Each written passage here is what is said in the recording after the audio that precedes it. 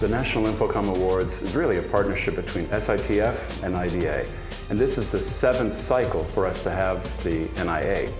What we wanted to do with this year's awards was really to try and connect into the vision for Singapore to be the world's first smart nation. And we saw a lot of different ideas come through because of that link. Many of the entries were on cloud-based solutions, analytics, and solutions to improve business processes and productivity. The judging is quite rigorous. The evaluation team is made up of a good mix of representatives from the private and public sector, established business leaders from the industry associations and incubators.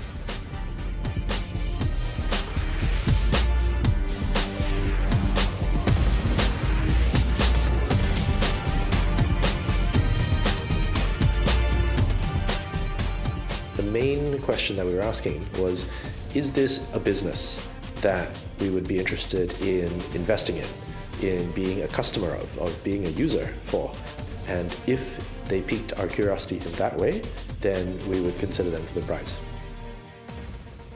We're trying to see a solution that are using some of the latest technology, sensor, so-called Internet of Things, uh, big data, analytics.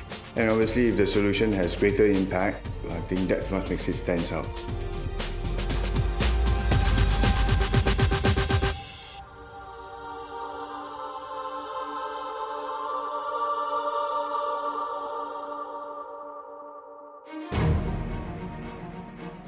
The judges are very sharp and precise, and they get the concept very fast and understand the whole big picture. Some of the questions are very thought-provoking, but nonetheless, I think it was it's a very positive experience. Being a finalist is already, you know, an encouragement to the Lego movement.